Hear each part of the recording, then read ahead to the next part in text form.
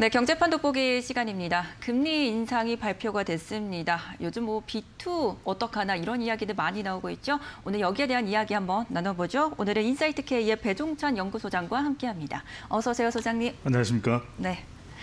자, 앞서 말씀드렸다시피 기준금리가 이제 인상 발표가 됐고요. 예적금부터 이제 차근차근 올라가고 있습니다. 네. 앞으로 대출금리 인상도 이제 머지 않을 것 같은데 네. 어떻게 보고 계십니까? 금리는 이제 대세적으로 인상이 된다고 봐야 되겠죠. 네.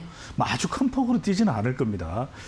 이 금리가 1.25%에서 0.75%로 빅컷이 이 코로나 뭐 상황에서 네. 있었, 있었죠. 네. 그만큼 이제 이 금리를 완화하고 또 양적으로 또 완화되는 그런 현상에서 이제 빅컷 이른바 금리 인하가 이제 큰 폭으로 단행이 됐던 건데 이제 서서히 금리가 올라간다고 보셔야 될 것으로 보입니다. 한국은행도 1년 3개월 만에 0.25% 기준금리가 이제 인상이 됐고요. 그리고 각 금융기관의 금리도 이제 덩달아 뒤따라서 이제 인상이 됩니다. 예적금 금리도 올라가고요. 예금 적금. 그리고 주택 주택 담보 대출 금리도 이제 올라갈 수밖에 없는 것이고 집을 사기 위해서 어, 빌렸던 돈에 또 이자액도 이제 올라갈 수밖에 없는 상황입니다. 또 개인 신용 대출 많이들 했었거든요. 네. 이게 이제 우리가 이른바 B2 빚을 끌어다가 이제 투자를 했던 개인 투자자, 개미 투자자와 관련되는데 신용 대출도 이제 인상이 되는 그런 상황입니다. 대출 금리도 코픽스 금리라고 있는데 코픽스 금리가 여덟 개 은행에 이 산출된 그런 이제 이 이른바 자금 조달 비용 지수입니다. 네. 그러니까 여덟 개 은행에서 이 코픽스라고 하는 것이 자금 조달 비용 지수이기 때문에 계속해서 이제 자금을 만드는데 비용이 들 수밖에 없거든요. 이것 자체도 10월 15일 기준으로 또 자동적으로 또 인상될 수밖에 없는 상황입니다. 그렇다면 금리는 이제 계속 이런 지표를 보더라도 올라갈 수밖에 없는 상황이다. 그리고 하반기에 한국은행이 단행을 할지 어떨지는 모르겠는데 하반기가 아니면 이런 내년 초 그러니까 1월이 될 수도 있을 겁니다. 기준금리를 추가 인상할 가능성도 상당히 높다는 점. 그러니까 대체적으로 지금 이제 금리는 조금씩 조금씩 올라갈 수밖에 없는 상황으로 봐야겠습니다. 네, 맞습니다. 사실 근데 이제 금리 인상과 함께 대출 규제까지 같이 네. 나오면서 사실 대출 시장이 굉장히 얼어붙은 느낌이거든요. 그렇죠. 어떻게 보고 계십니까? 그러니까요. 기준금리도 이제 인상에 대해서 이 금융기관의 금리도 인상되고 있는 그런 상황인데 네. 대출이 그러면 규제되고 있는 상황은 뭐냐? 그러니까 금리는 이제 정량적으로 네. 이 금액상으로 이제 수치상으로 올라가는 거라면 대출을 규제한다는 것은 규모를 줄인다는 것이거든요. 그만큼 가계 부채가 지금 급격히 늘어나고 있는 이런 상황. 또 그리고 유동성이 너무 늘어났기 때문에 또 대출 규제를 통해서 적정한 통제가 또 필요하다고 이제 금융당국에서는 판단을 하고 있는 것인데 가계 대출의 전가세를 5에서 한 6% 수준으로 통제하겠다는 것이거든요. 그러니까 너무 늘어났던 거죠. 급격하게 네. 쌓여 있는 누적 대출 금액만도 이제 천문학적인 규모가 되다 보니까 이렇게 가다가는 정말 말 그대로 가계 부채 폭발 이런 또 위기까지도 염려되고 있는 상황이기도 하고요. 그러다 보니까 이제 각 금융기관별로 또 확인을 하실 필요가 있습니다. 농협의 경우에는 11월 말까지 어, 주담대, 주택담보대출, 그러면 전세대출을 중단하겠다. 그러니까 아주 구체적인 내용은 각 금융기관으로 들어가서 보시면 되는데 사실 대출에서 가장 중요한 세 가지가 주택담보대출, 전세대출, 그리고 개인의 신용대출이거든요. 집 사려고 할 때 어? 대출을 얻을 수가 없다. 네. 또 전세를 지금 결혼해서 전세집을 구해야 되는데 대출을 받을 수가 없다. 막막하죠. 그럼요. 또 이게 급하게 급전을 사용해야 되는 경우들이 있거든요. 그런데 소상공인 분들, 자영업자분들 신용 대출이 안 된다. 이렇게 되면 엄청난 타격을 받을 수밖에 없는 상황이 오고 있다라는 사실도 잘 기억을 해두실 필요가 있고요. 우리은행의 경우에는 전세 대출을 9월까지 최소 한도로 최소한의 규모로 축소한다라고 하는 발표를 했었고요. 또 당국은 신용 대출한도 개인이죠. 연소득 내에 그러니까 그동안에 우리는 연소득이 5천만 원이라도 6천만 원, 7천만 원 빌려줬어요. 왜? 풍부하니까 자금이. 그리고 금리도 높지 않으니까. 근데 이제는 신용대출 금리도 올라갔지만 이 최대 받을 수 있는 신용대출 한도도 자신의 소득 내에서 받을 수 있도록 축소가 된다는 건 사실. 그러니까 기준금리는 인상이 되고 있고 전체적인 자금의 규모는 대출 규제로 인해서 줄어들고 있다는 사실을 확인할 필요가 있겠습니다. 네, 요즘 뭐 그래서 신용 시중은행들이 대출 중단하니까 네. 미리 대출을 이제 미리 받으려는 가수요들도 굉장히 많이 늘었다라는 기사를 제가 본 것 같습니다. 네. 자 그렇다면 이제 개인 투자자 입장에서는 가장 문제가 되는 게 이제 비투를 하신 분들 아니겠습니까? 어떡하죠? 그러니까요. 그러니까 이제 영혼까지 끌어다가 투자한 연끌이 이게 주식 대세 상승이었던 지난해 또 올해 초 이렇게 발생을 한 것이거든요. 특히 이제 중요한 것은 증권사로부터 신용 공여 그러니까 일종의 이 대출을 받는 또 빚을 얻는 그런 방식이죠. 돈을 빌리는 거죠. 신용 공여를 한다는 것이. 근데 이제 이것을 증권사에서도 금리 인상을 하겠다. 그럼 상당히 부담이 이제 빚 얻었던 것이 커질 수밖에 없는 것이고 한국투자증권과 NH투자증권에서는 증권담보대출 일시 중단하겠다. 이렇게 되면 개인 투자자들은 상당히 힘들 수밖에 없는 상황이 될 것이고 그렇게 되다 보니까 신규 추가 아, 차입이 제약될 수밖에 없고 또 이자율은 또 올라갈 수밖에 없는 것이죠. 그러니까 개인 투자자들이 상당히 힘들어질 수밖에 없습니다. 이제 금융권으로부터도 신용 대출이 힘들어졌는데 증권사로부터 빌리든 돈을 빌려서 이제 투자를 했던 신용 공여까지도 거의 차단이 되거나 이자율이 인상되는 그러면 이제 개인 투자자 이 개미 투자자들에게는 상당히 힘들 수밖에 없는 상황이 되는데 그러다 보니까 신용 거래로서 종목 중에서 많이 지금 거래가 이루어진 종목들이 있을 겁니다. 신용 공여 상위 종목들은 좀 경계를 하셔야죠. 왜 이게 이 자금이 빠질 수가 있기 때문에. 그래서 투자한 지금 포트폴리오를 재정비하시는 과정에 신용 공여로 많이 지금 투자가 돼 있는 종목들은 좀 경계를 하실 필요가 있겠습니다. 네. 그래서 이렇게 대출 규제가 점점 더 심해지다 보니까 네. 뭐 일각에서는 보험사 대출 쪽으로 넘어가야 되나 그게 고려를 하시는 분들도 계시는 것 같아요. 그렇죠. 쪽은 어떻게 보고 계십니까? 그러니까 보험이 왜 좋으냐. 근데 여기서 주목해야 될 부분은 보험사로부터 대출을 받기가 좋아진다는 그만큼 보험사는 이익이 커지겠죠. 네. 아 그렇다면 하반기 우리가 눈여겨봐야 될 종목은 바로 보험주가 보험주이다. 될 수가 있는 것이죠. 왜 보험주냐? 그러니까 규제 어, 대출은 규제 통제는 좀 덜한 상황에서 오히려 금리는 별로 차이가 없다라고 하는 것을 그리고 아까도 말씀드렸지만 세 가지 우리가 대출 이제 주택담보대출 또 신용대출도 있는데 보험 계약 약관에 대한 대출도 가능해요. 근데 궁금한 건 앵커께서도 궁금하시겠지만 네. 그럼 난 보험 계약 안 했는데 대출 가능해 가능합니다. 오.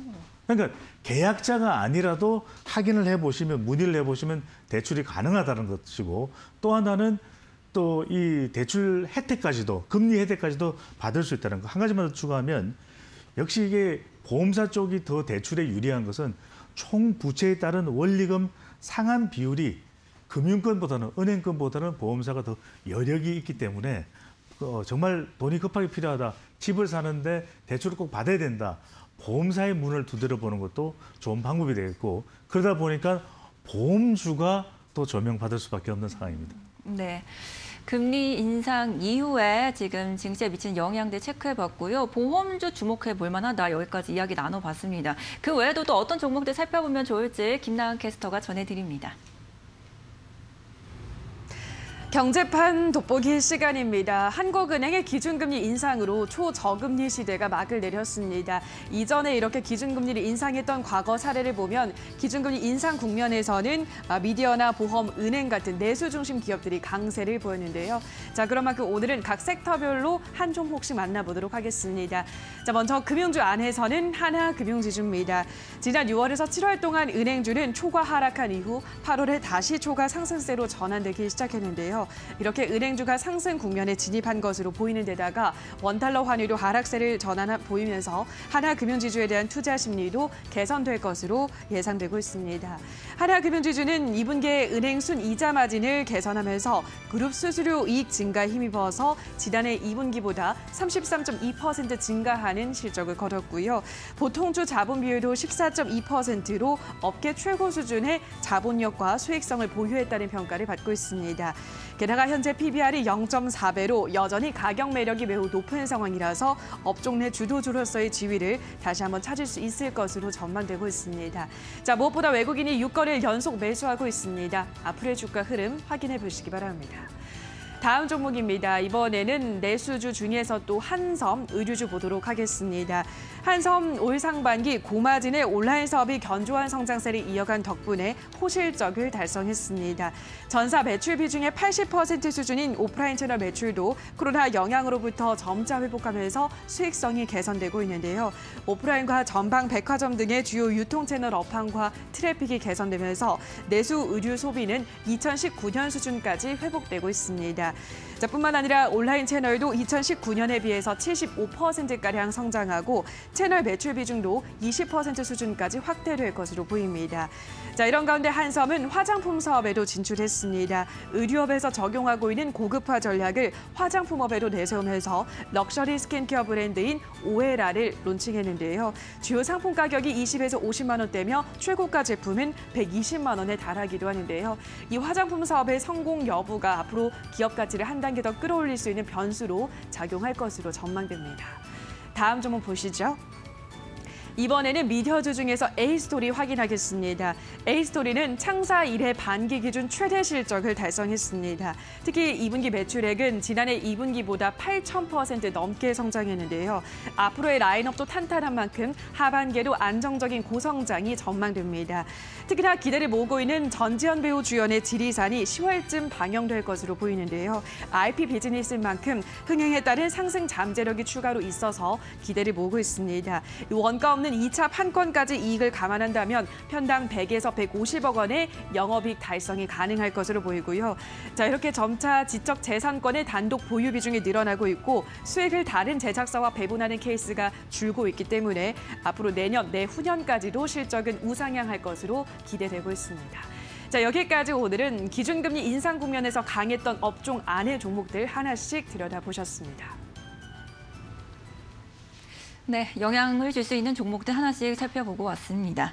자, 사실은 그런데 금리 인상이나 네. 뭐 대출 규제는 우리가 이미 예상을 했던 이슈지 않습니까? 그렇죠. 이미 예상을 해왔기 때문에 우리 시장에 좀 선 반영이 됐다고 봐야 되는지 음. 앞으로 유동성 회수로 인해서 더 변동성이 있을 것이라고 봐야 되는지 어느 쪽이십니까? 네. 여기 선 반영이 됐다고 봐야 되겠죠. 그리고 사실 우리가 유동성 부분은 앞으로도 더 장기적으로 길게 또 지켜봐야 되는 또 부분인 것이고요.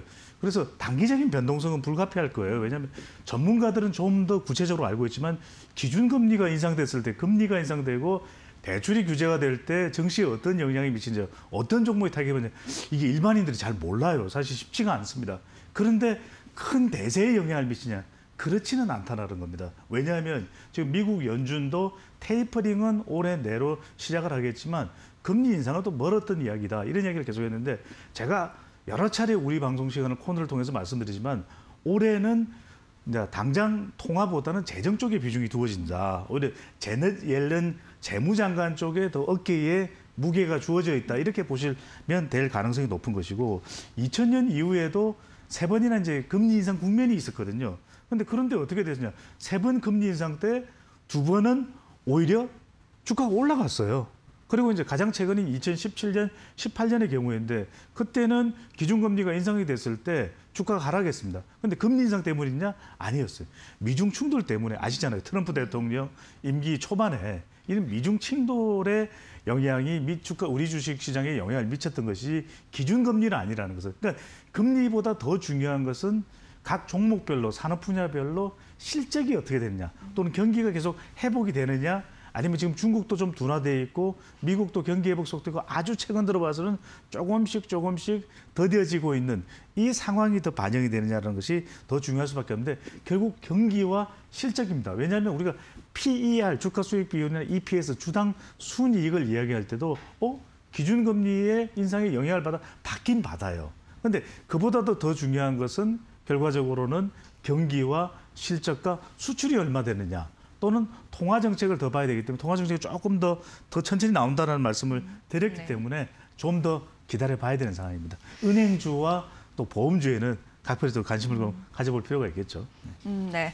결국은 그래도 뭐 실적 이다 이렇게 말씀해 주셨는데 그러면 우리가 4분기에 좀 증시 전략을 짜볼 때 네. 그 말씀하신 위주로 좀 짜보면 괜찮을까요? 그렇죠. 그러니까 이제 이럴 때는 오히려 실적에 비해서 이 주가가 높은 경우에 우리가 valuation이 높다, 성장주라고 이야기를 하잖아요. 왜냐하면 미래 이게 아주 미래의 이제 가치를 본 것이고 오히려 실적은 좋은데 어 주가가 별로 안 올랐다. 그렇다면 우리가 이런 경우에 좀 경기 민감주 같은 경우 또 내수주 또는 이 가치주죠. 아직까지는 오르지 않았지만 오를 수 있는 가치를 내재하고 있는 그런 주식들 또 재무 구조가 굉장히 탄탄한 회사들은 금리가 인상되거나 대출이 규제돼도 버틸 수 있는 능력이 있거든요. 그런 회사들을 좀 더 눈여겨 보실 필요가 있고 좀 구체적으로 보면 이제는 이 수출이 중요해지게 됩니다. 얼마만큼 경기 회복에 또 연동이 되느냐는 부분은 수출 소재, 산업 자본재 쪽에 좀 더 주목을 하실 필요가 있다라고 하는 것. 그래서 좀 성장주 쪽은 조금 투자를 하는 데 있어서 신중하실 필요가 있겠고 오히려 이제 4분기로 가서는 아 여러 이런 이 외부 요인들이 좀 더 이제는 내성이 길러지게 되면 아니 금리 인상도 이미 선 반영됐지만 4분기로 가게 되면 더 적응이 되는 것이거든요. 그때는 오히려 저가 매수할 수 있는 기회가 될 수 있기 때문에 어떤 부분들을 좀 기다렸다가 포트폴리오의 재구성과 함께 저가 매수를 하고 4분기 대응을 하실지도 좀 더 철저한 준비를 하는 시간으로 하시면 좋겠습니다.